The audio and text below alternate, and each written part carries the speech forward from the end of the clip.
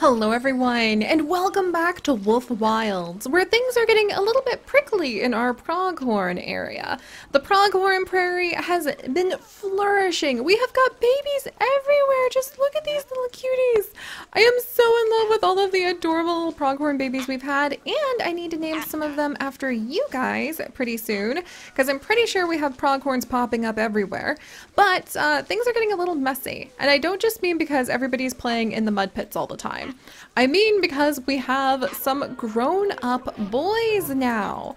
Some of, uh, let's see, who was, it was, oh, Sycamore, look at you!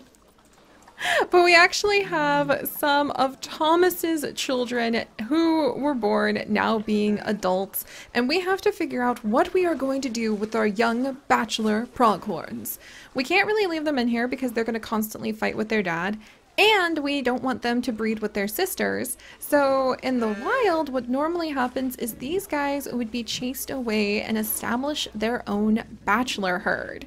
But if we're gonna have so many pronghorns, I'm trying to figure out how we're going to have like that many bachelor herds scattered all over the place. And I think what we're gonna do is we're going to create a beautiful new area. We're going to fill it with flowers. Like the more pronghorn that get to go into a zone will fill with flowers and we're going to start transforming the entire world through the animals, which I really love. Like, you know how when we have the animals poop in Sahula Sand Safari, they get to have protea flowers that sprout from the dung?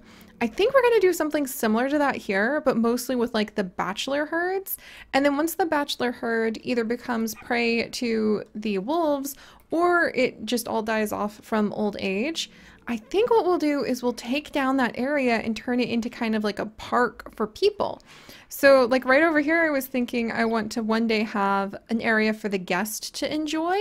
But for now, since we have some, some pronghorn bachelors, I think I'm going to put a spot right over here for the pronghorn bachelors.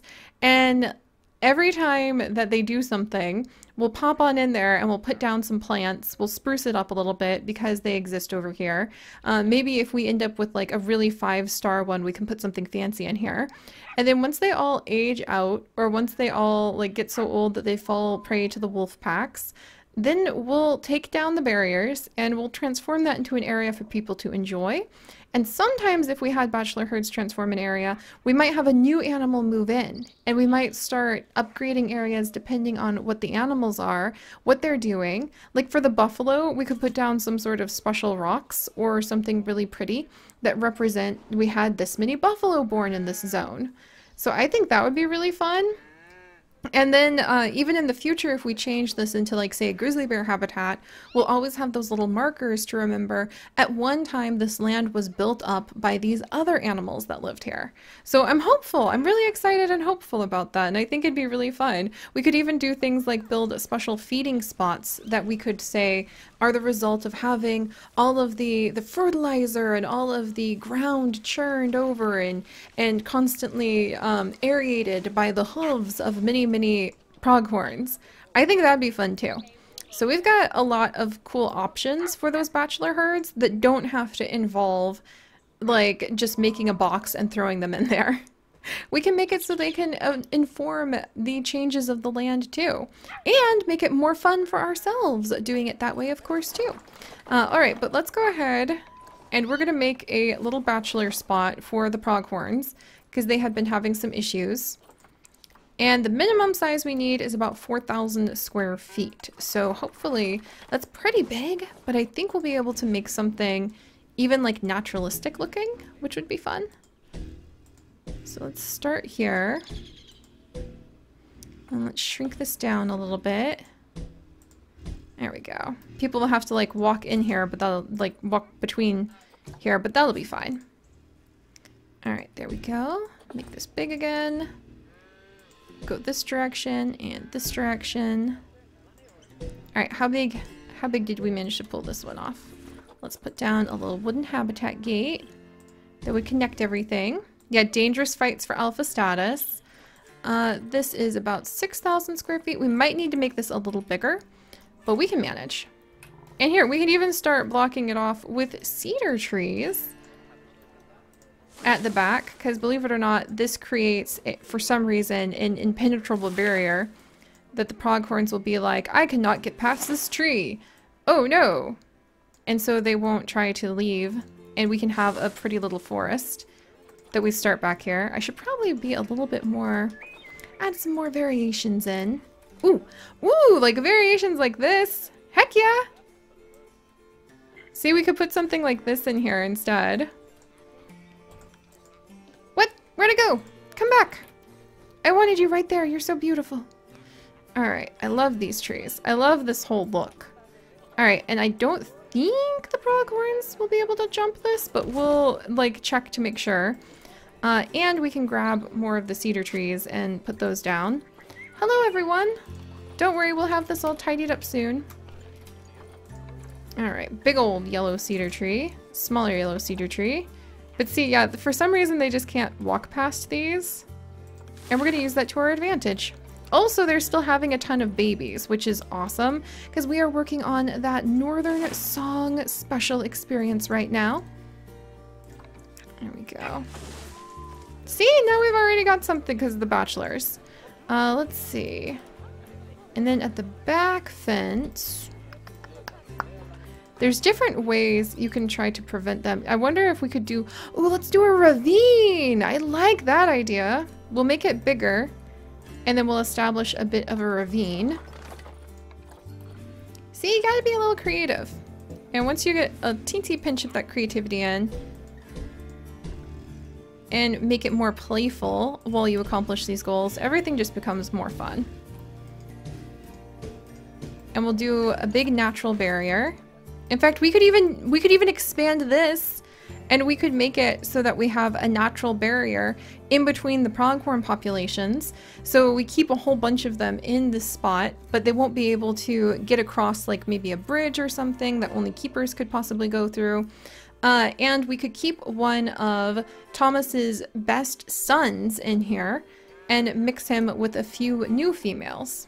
That's an option, but we'll we'll explore like different ways we could do that in a bit.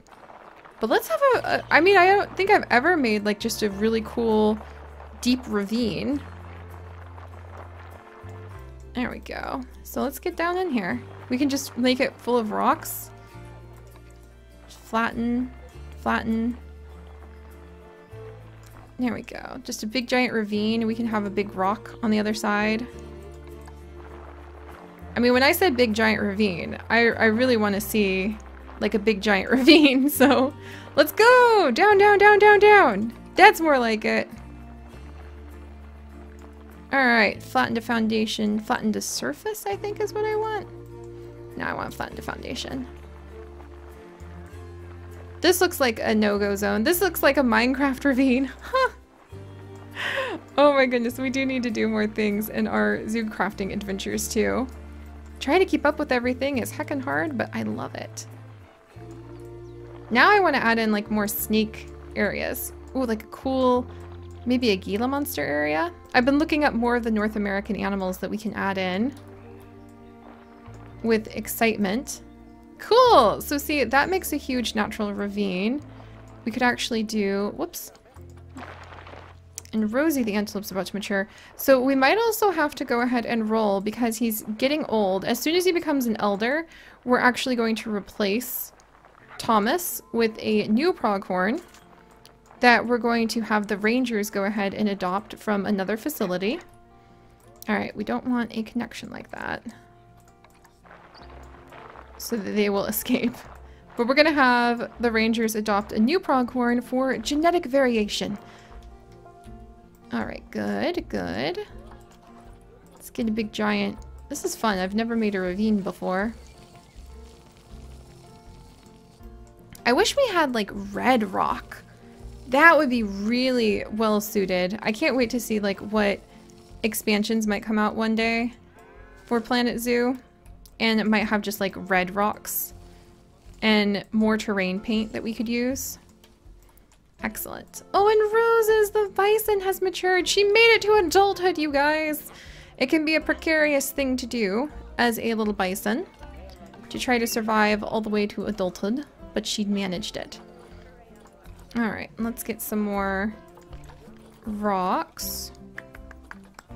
Like those nice tundra rocks. Take it. Yeah, these guys. Alright. And then we can sprinkle a few of these around here.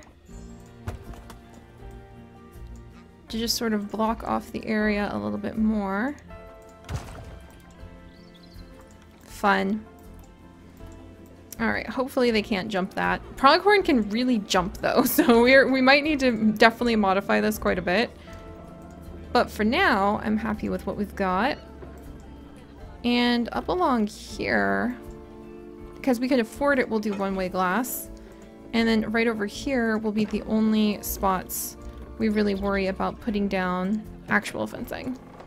Something tells me they'll be able to like wiggle past a couple of the spots we've got, we won't know until we put them in. All right, let's add in just by the door, wooden logs. And there we go, kind of a half naturalistic open look to our pronghorn spot. Let's move some of the bachelor boys over. They can be in groups of five. So we're gonna have Sycamore, Jack, and Zachary. Come on over. Look at all those babies! And they're gonna move into this habitat now. Heck. Oh, we don't know anything about pronghorns? I have been spending all of this time without researching the pronghorns. And we're still waiting for baby Aaliyah to grow up, poor thing.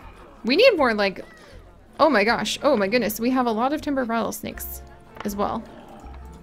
All right, let's go ahead and get all of those sent to the trade center. Thank you. I have so much to do. I love it. Wolf Vet Gabriella needs to start researching pronghorn antelopes. Maybe we'll find out. Oh no! We need another wolf vet, or we need another vet because now the little ones are sick. Okay, we need to have like a geneticist specialist. That's what I want. And we're gonna invite in another one of our wonderful patrons who without them, it would be very precarious to keep all of our adventures going. So thank you so much from the bottom of my heart to Colleen, who is now going to come on in and join us as we're going to have her be a genetic specialist, Colleen. Thank you so, so much for all of your support. And it's two E's, not one E. There we go. In our Patreon. And thank you so much for making it possible that we can keep all of our pixel biology adventures going. Alright, let's come on in. We're to search for pronghorn escape routes very soon here. Alright, let's do this. There we go. There's that. And I do want people to be able to, like, loop back around here, I think. And, like, go on a nice little walk right up against the barrier. I wouldn't mind that. Let's see, can I make this a little? Okay, no, that's the max length. All right, what about right here, right here, and right here. There we go. All right, let's see if these boys are capable of escaping or if this is too small. Nope, this is perfect. We did it, guys. We made a nice area. It's got plenty of space for the boys at the moment. We just need to add in more enrichment for these pronghorns. So let's put in a mud bath. And we need to give them water. That's definitely on the list of important things to give them access to. Uh, so we definitely need to give them some water. Let's see. Ooh, I like this. Yes. I am just going to have this particular rock structure down everywhere and I don't even care anymore. It's just my favorite. It just looks so good. And it just so instantly builds an amazing looking naturalistic area that needs a couple more rocks to finish it off, I'll be honest. And these pines, I mean, you might think that it's a little unrealistic to have the pines growing out of these boulders. But I'm telling you guys, these are very stubborn plants. They can grow out of a lot of things you wouldn't expect. Uh, and I wonder if I can make it... Ooh, look at that. oh, so nice. So much nicer. I think one of the things I love about Planet Zoo the most is all of the details really bring it to life. So you can spend quite a bit of time pecking away on some of the details. Alright. Oh, that's so much nicer. We'll, we'll put that little lip together for sure. Alright, we need to add in a spot where they can get water. And also if they can splash in water, that'll make them nice and clean. So let's put down a water filter unit back here that my staff will be able to reach. Power, power and water wouldn't be bad. And I think I have like those dual units. South American. Start a facility. We're good there. Thank you. Faculty. I always want to say facility instead of faculty. Don't know why. All right, we'll put this down over here. And let's see. There we go.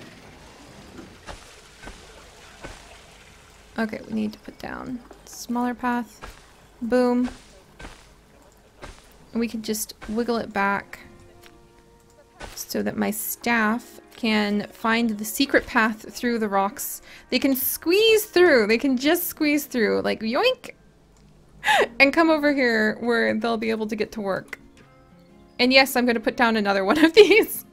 Why not? It's like instant forest. We need more instant forest. It just makes it easy. Boom, boom, boom, boom, boom, boom.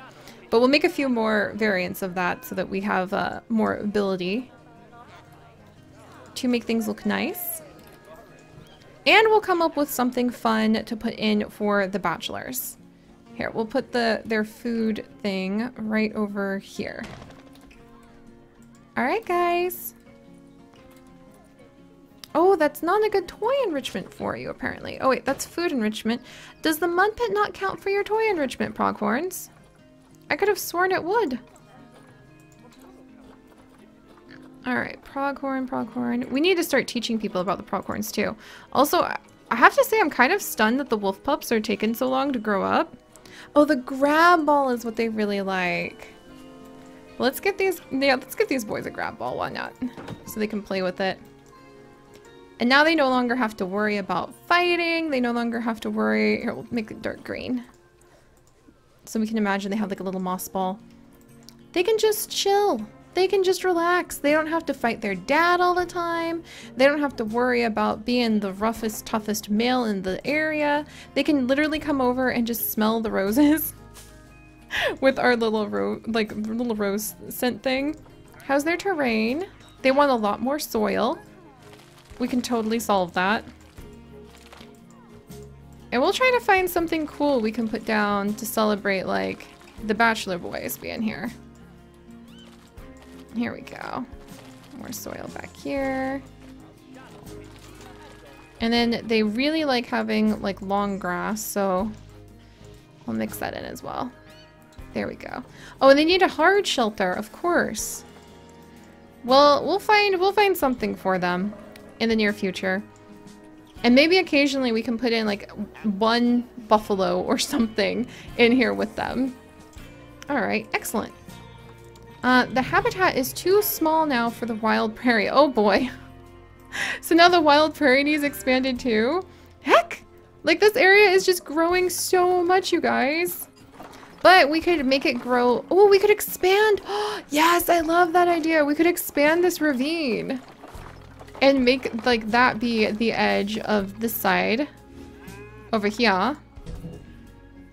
That would be fun. To just make our huge ravine expand over there. And just keep this area growing. I like the idea of trying to keep in multiple populations of different males and females too. I think that'll be really, that'll be really tricky, but I think it'll be really fun. And let's do wooden logs there. And then we're gonna go ahead and we can have like a little walkway people can walk across the ravine on. We're gonna go ahead and do steel mesh there. Yeah, actually we could just say that this is like a walkway um, to the other side of the ravine. Oh, I like it. And we'll put stones down here and maybe make a tunnel that people can walk through. All right, that'll be excellent. And then this back area is all going to be ravine based. Down we go! Dun dun dun dun dun dun! Nice. I guess we'll have to spruce this spot up next time. But it'll be fun. There. Oh, that's actually like all we need to do because they won't be able to get past there. Here, I'm going to expand it just a bit. Alright. There you go, guys. Your wild fields just got a lot bigger. No escaping, please. Uh, whoops. And we'll grab this one. And we can actually prevent escaping like so. See, I told you guys, instant forests are fantastic. Just tuck that in there on one side. Make sure I didn't put it at the angle that literally lets them just like bounce out of here. Tuck this one in on the other side. Double check that we didn't just make a bunch of escapee zones. And ta-da! Plenty of space! Now we just have to convince people that it's worth it to walk down there. But I think it would. Like, heck. Oh, look, and we actually made a perfect transition to when one of the wolf pups grow up. We'll be able to move them over here. Yay! Speaking of the wolf pups growing up, I would have sworn that would happen sooner than later. So we need to check on them because I really would have thought they would have already aged up by now. I love this ravine idea. Let's grab some lizards and we'll put down a couple little lizard exhibits. And I feel like, oh, should we put something in the ravine? Like make the ravines flood? That would be pretty cool. Except then the animals could swim across it, but not if we put the water level lower, like this. I love it! Now it's a moat! It's a moat ravine. That makes sense because it's it'll be like a little river. Yeah, we can put little frog noises down in there. Heck. Okay. Finally getting to the point where we're starting to work with like some significant modifiers of the geography in our Planet Zoo adventures, but we're getting there, guys! Slowly but surely, as issues come up, dangerous fighting due to improper sex ratio. Oh, Aaliyah, you grew up! Okay, sorry, you need to be released to the wild now because you're supposed to be dead. And Moonlight, please don't interbreed with your dad. This is why- Knight, are you- are Thomas? Thomas, when are you an elder? That's gonna be unhealthy babies, Thomas. Thomas, he should be an elder soon.